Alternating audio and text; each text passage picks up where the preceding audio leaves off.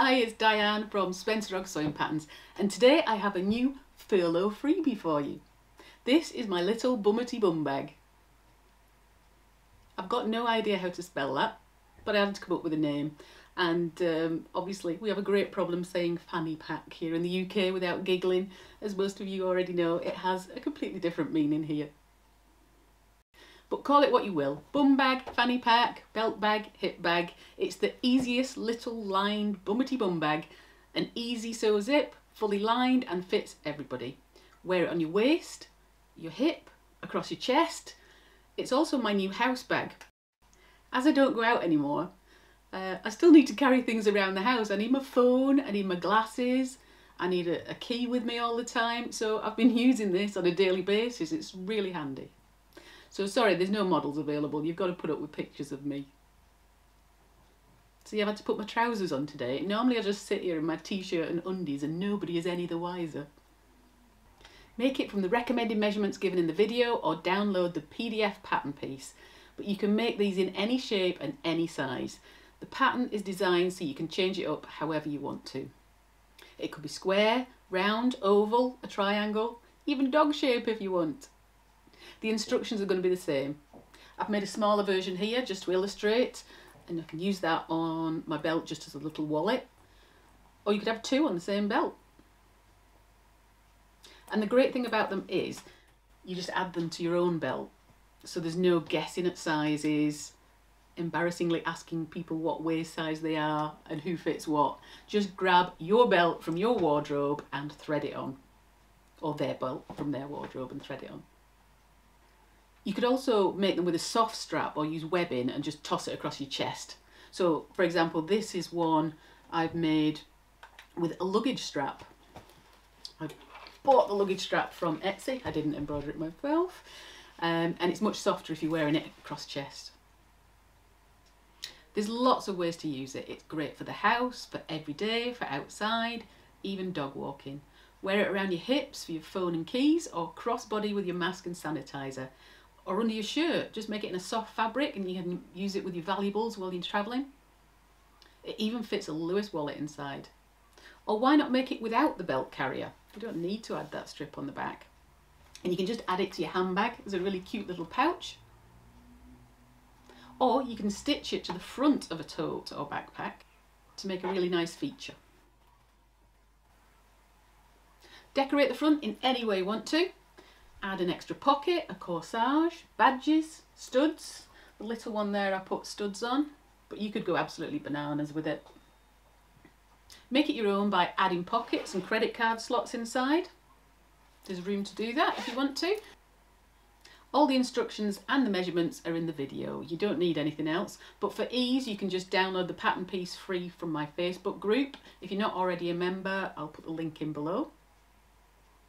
Suitable fabrics for this project? Well, just about anything goes with this. I'd stick with quilt cottons for the lining, but after that, there aren't many layers, so really anything right from quilt cottons to canvas, through to cork, vinyl, waterproof canvas, oilskin, even leather. So if you're ready, let's go sew. So for our project today, you're going to need to cut the following. I'll add all the sizes into the text below the video too, and if you want to download the pattern piece for ease, you can also do that. So we're going to need four pieces of piece A and one piece of piece B. A zip, and you can also add a logo badge if you wish to. So sizes, we have piece A, and piece A as I say, you can just download the pattern piece or you can cut a rectangle size 23 by 14 and a half centimetres. That's in inches, 9 by 5 and 3 quarter inches. As I say, use the paper pattern piece if you prefer. So in that we want to cut two outer, two lining and four pieces of medium weight interfacing. Now I've gently curved the bottom edge of mine I've made them all match. As I say, use the paper pattern piece or you can just use a cup or a mug or a pencil pot just to gently curve those bottom edges. So leave the top edges square. Then I need piece B.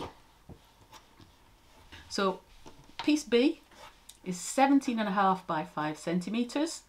or 7 by 2 inches. And we're just going to cut one strip in vinyl or any other non-fraying fabric. Just as an aside, if you're making a different size in this bag, just make sure that's about 2 inches shorter than the overall width of the bag.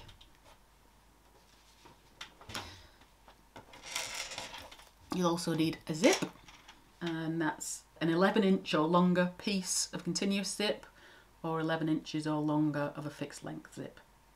If you're making another size in the bag, make it about 2 inches wider than the bag itself, just to give you plenty of room to work with. My zip that I'm using today is one and a quarter inches wide. One inch wide works fine too, and we'll talk about that as we go through. I'm using a number 5 zip, but a number 3 zip will work equally as well.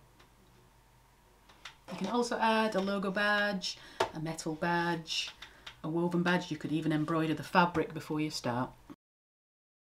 And if you are using a thinner fabric, like I am today, so a quilt cotton, or this is like a very thin canvas almost, then I'm going to add a layer of thin fusible fleece. So I'm using H640 from Vilene. Nothing too thick, but you absolutely don't need to add anything there at all. Certainly not if you're using cork or vinyl, it's literally just if you're using the thinner fabrics. And I've cut that down by a centimetre or 3 eighths of an inch all the way around so it doesn't get into my seam allowances so it avoids adding any bulk. Now I'll head over and fuse those together. I've already fused my interfacing my medium weight interface into the back of my lining and outer and I'll now add my fleece just to my outer, so the centre of my outer pieces.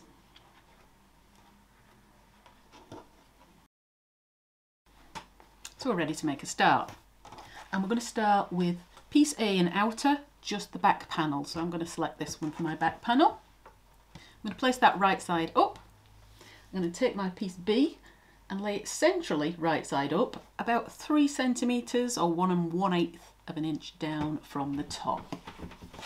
Grab my trusty dirty ruler and there we go. So that is about there. You can normally just eyeball that centrally. We want that shorter and well out of the seam allowances, this piece B, um, because our belt is going to pass through that. So that's fine for position. Do check the width of that against the belt you intend to use this bag with. This is two inches wide, but you don't want to make it two inches wide and then find the belt is two and a half inches wide. We'll probably just use a narrow one inch belt with it, so it'll be fine at this. But do check if you want to use it with a really wide one or a really narrow one and make it smaller, then that's fine. Just tailor it to your own belt.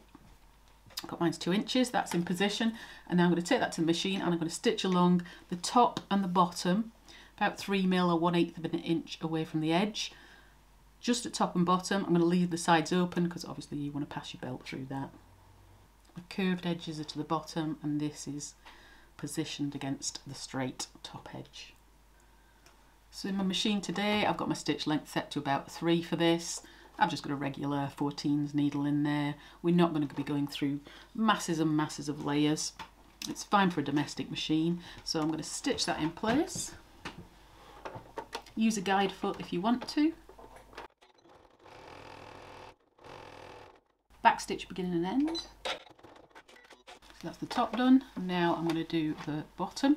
I've used matching thread here for this um, dark band. Obviously you can match that to the colour of your fabric. I quite like it being in a darker. That'll match my badge on the front and my zip.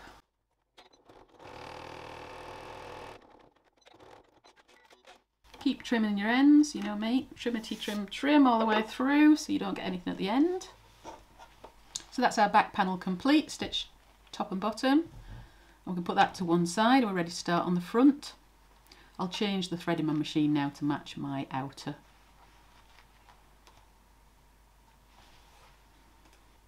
So now we're going to work on our front panel and it's a really nice easy zip insertion method, nothing to worry about at all. So I'm going to take one of my piece A's in outer and one in lining. So obviously the one that doesn't have the belt carrier on it.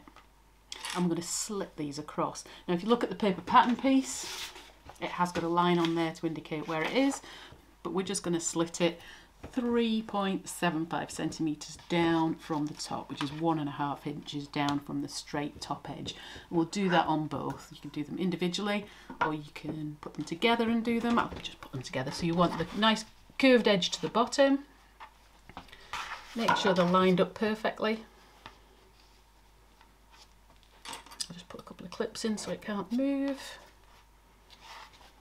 Check, check, check.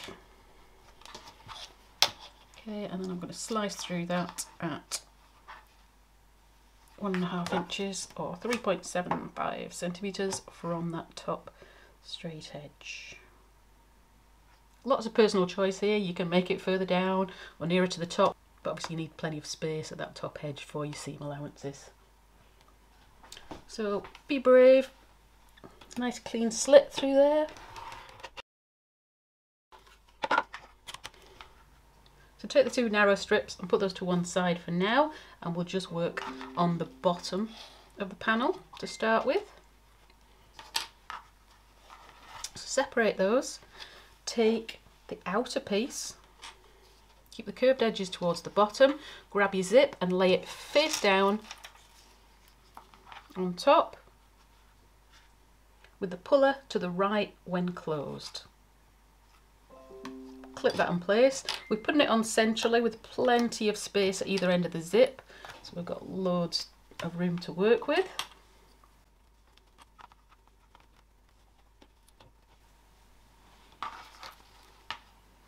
So there's our zip with the edge clipped to the top straight edge of the panel. It's face down, lots of space on either side. Now, one of the things that helps you achieve a really nice straight zip is to baste that on. You don't need to, but if you're a newer bag maker or me, I always prefer to baste the one side of the zip on before I, I, put the second side of the fabric on. So I'm just going to take that to the machine and do that now. I've put a zipper foot onto my machine already and I've changed to my outer colour to match my outer fabric. So let's baste that. I'll just baste it close to the outer edge of the zip there.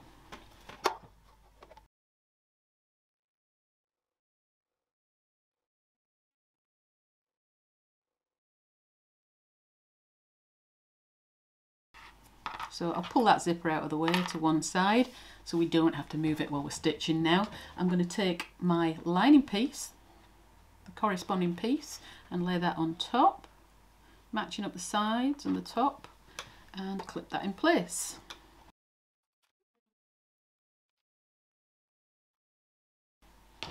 So we've got right sides together, zip in the middle like a zip sandwich, I'm going to stitch across that top edge. I usually like to do it from the front. and stitch across that top straight edge with a quarter inch or six mil seam allowance. Because we've pulled that zip puller out of the way onto the free edge of the zip tape, the loose edge, we don't have to worry about lifting our presser foot and moving while we're halfway across the zip. So that again, that helps with keeping a straight edge and a straight zip insertion back stitch beginning and end.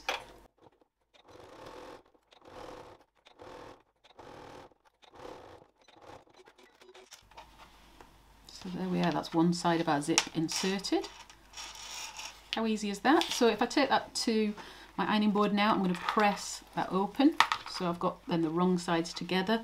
Get a nice crease on the top, both with the lining and with the outer back in a mo.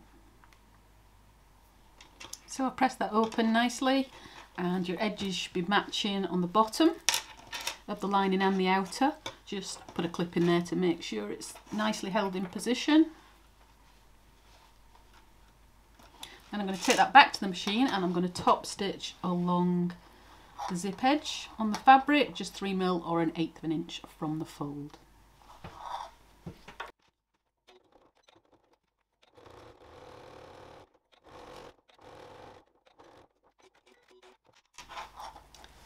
There's my edge top stitched. So let's repeat with the other side. So grab your strips again, make sure that the outer is the right way. We don't want it upside down because it really won't tie in if you've got a print that's a one-way print. So that's going on that way. So with the outer, I'm going to lay that right side down on top. I'm going to match the top edge of the zip and the sides of the bag. Clip in place. Again, I'm going to run over this with a basting stitch because I find it's easier to keep everything in line that way. You don't have to, you can just sandwich it straight away if you prefer.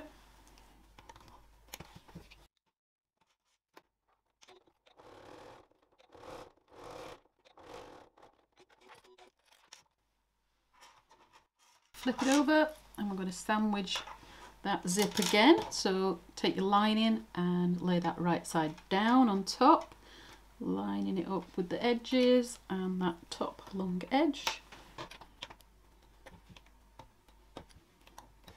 And we'll stitch across that again with a six mil or a quarter of an inch seam allowance. Keeping your zip out of the way at the end still, so we don't have to worry about moving it as we go.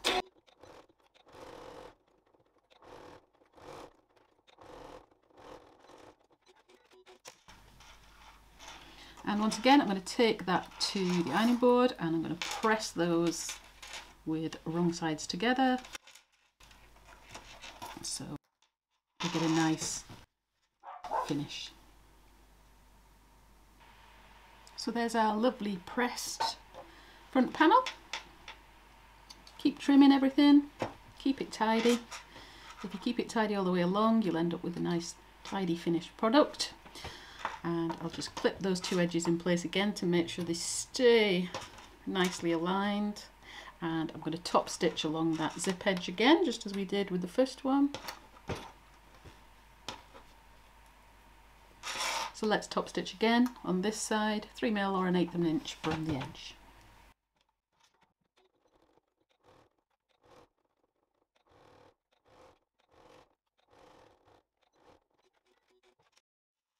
There we are, looking good. Nice. And you know, we're about halfway through now, so I think it's probably time for the usual tea break. So I think it's important we always have a little tea break in the middle of a pattern, just to check up where you're up to and enjoy your progress so far. My biscuit today is a Tunnock's caramel wafer, another Scottish delicacy covered in chocolate. And they would fit nicely into your bum bag as an on-the-go snack. I really love these, but they're so thick, they actually hurt the top of your mouth when you bite into them. But obviously I will. Anyway, we digress. Now is the time to think about decoration for your bag and you can kind of see how it's going to end up looking now. So you'd be surprised how adding the tiniest feature lifts the whole look of the bag. So decide if you want to add decoration at all, maybe just a badge, your logo tab, or you can go wild with rivets and studs. It's totally up to you. Or I could finish with a biscuit. I'm just going to add my logo tab centrally here, but there's lots of things you can do. You can add rivets, you can have a logo tab, a metal badge, whatever you want and wherever you want. So I'm going to add mine centrally about three quarters of an inch down but you can attach it anywhere you like. You could even attach it to the bottom here. Remember you've got your seam allowances to take into account so not too close to the edges. But I'm just going to stitch around that there. I've put some double-sided tape on the back. So I've pulled my lining up out of the way. I'm only stitching through the outer not through the outer and lining and I'll just stitch around there to attach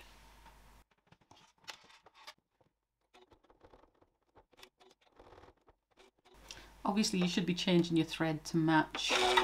I'm using the same colour for speed.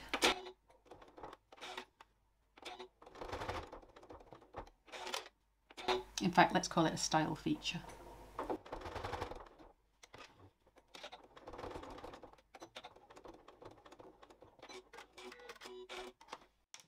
Match them up. So as I say, you can do any amount of decoration you want on there. Just do it on the front. Keep your lining out of the way. Rivets, metal badges, logo tabs.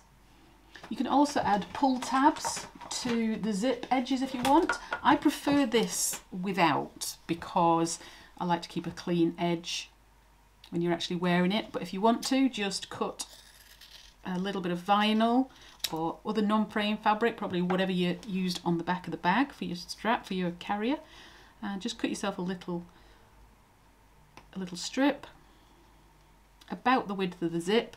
You're going to fold that in half and just stitch it facing inwards matching the edges of your zip there. So once you turn the bag through that'll actually pop out. But as I say I prefer this one without but that will work on any bag.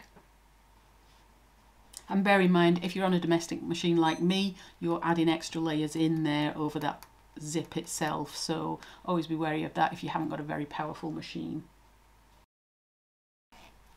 a really nice quality zip and zip puller really make a difference as well. They always make a big impact. So if you can afford to do to use a nice zip, then do. This one's from Zipper Valley. I'll put a link in below. Or you can just bling up a basic zip by adding a little strip to your puller. So just use a, a regular puller and then cut yourself a strip of vinyl or leather. Pull it through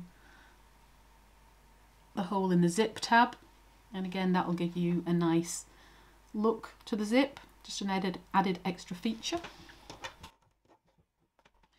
So let's pull our zip about a third of the way open. We don't want to forget to do that because if you stitch up the sides and it's over here then you're going to be in trouble later. So do remember that. That's an important point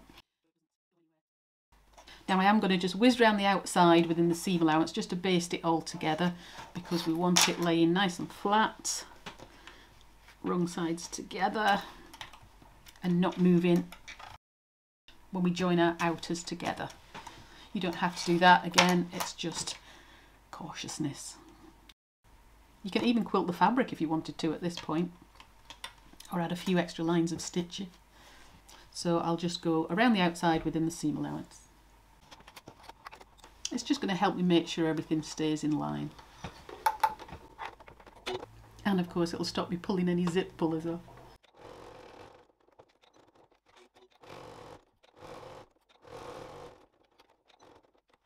Keep that zip held together as you pass over it.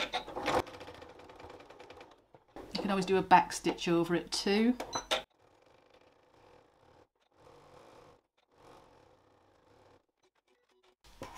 There we are, it's all held in place firmly. Trim up any edges any threads. It's a really, really fraying fabric, this. And now we're ready to join the outers together. So grab your outer with the belt carrier on. And we're going to place that right side down on top. Actually, I'm going to open my zip a little bit more here. And you'll notice how, as I stitched over the side, just to baste it in place. It's held the zip together at the side there too. You can trim your zips at this point, but I prefer to leave them on till the end.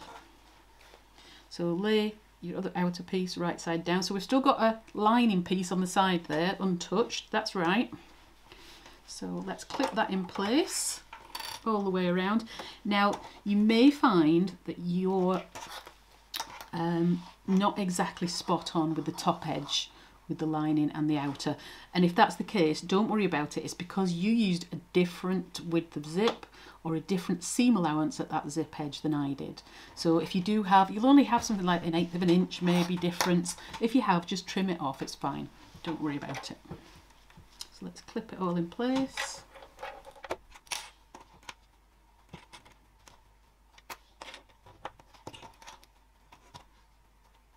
So make sure everything is lined up top, sides, bottom. I'm going to stitch all the way around that with a one centimetre or 3 eighths of an inch seam allowance. Here we go, and all the way around. We're not leaving a turning gap here because we've got the zip that we can turn it through.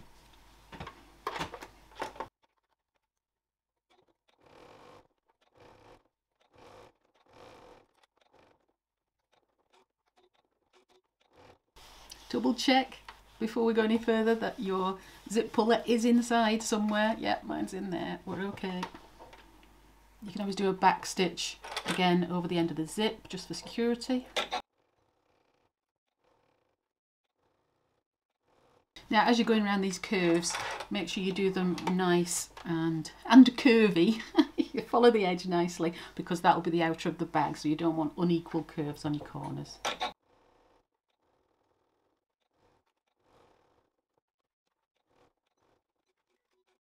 Go, so we stitched all the way around. Beautiful, looking lovely. Trim up your last few threads, make sure it's all tidy. And now we're going to add that last lining piece. You see how quickly it all comes together. It's a really easy project, this. So flip so your lining, the right side of your lining is showing on top. And then grab your remaining lining piece. This is the whole one that they had at the side. I'm going to lay that down, face down on top matching all the edges bottom top sides and clip that in place.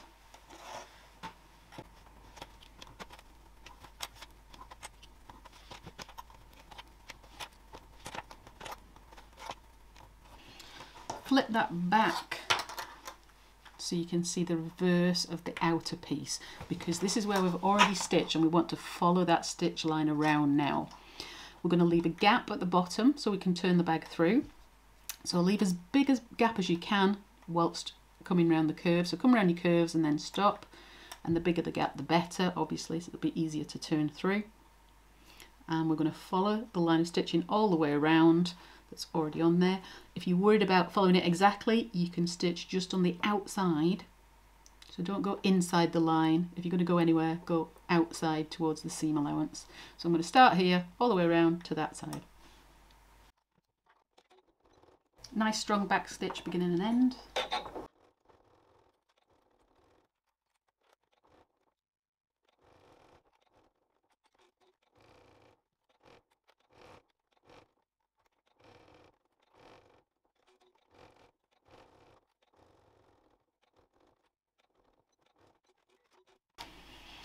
So we always stitch all the way around. If you turn it over, you can see that we've got the gap at the bottom still. And now we're ready to turn that through. But before we do, let's trim our seam allowances down to half and clip the corners, but don't trim the opening gap. So leave that as long as you can. Be brave. Your zip edges can disappear here as well. I don't know why I like to leave mine onto the end. I always do. I think it's fear of doing something wrong and having to go back and redo it. Okay, so when I get to that gap, I'm going to leave that long. I'm not trimming that portion.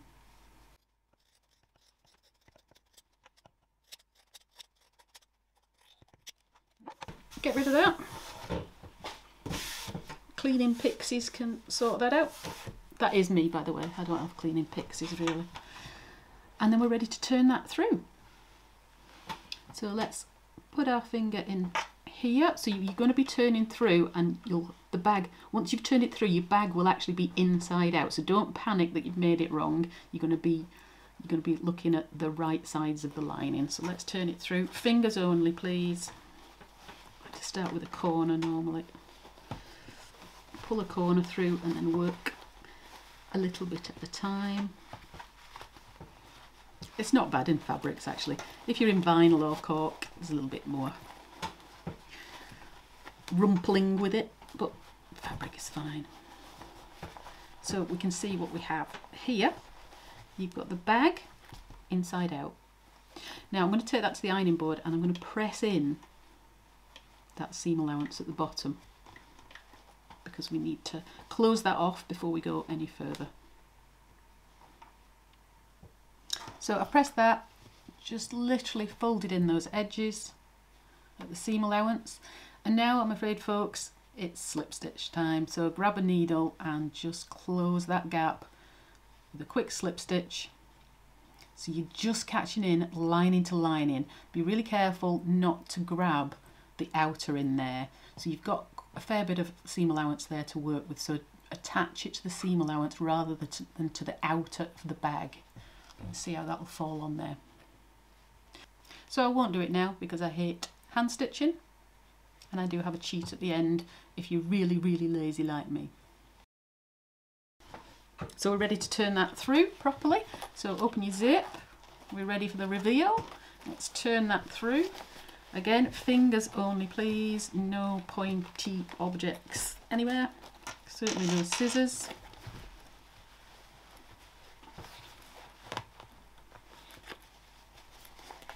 Looking really cute.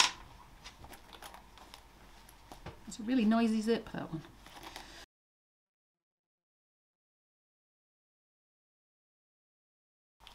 So I'll take that to the ironing board again and give it a really nice press.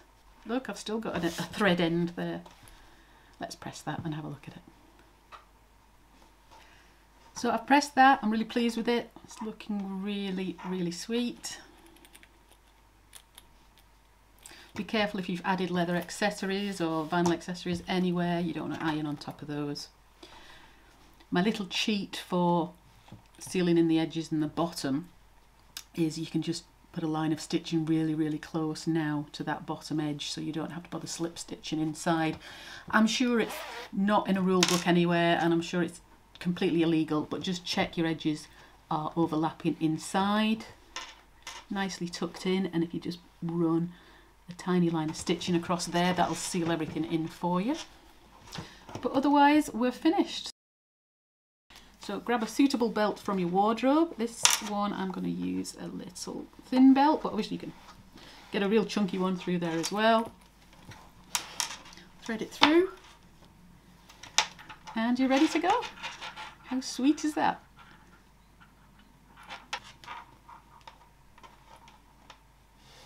So I hope you enjoyed today's tutorial and we'll make lots and lots of these adorable quick little bags.